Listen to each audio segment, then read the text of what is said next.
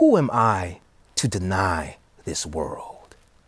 This gift of music storming through me. It howls out my fingers when I reach into God's mouth of piano, grabbing fistfuls of sun with each song. It spins me in circles, surrounds me in starshine, mounts my head, hands, and heart till I tell it what it wants. Tell it how we are all one wave of notes in the dark gospel of the universe. Can't you hear the chorus of moonlight? Can't you see the way each note shines?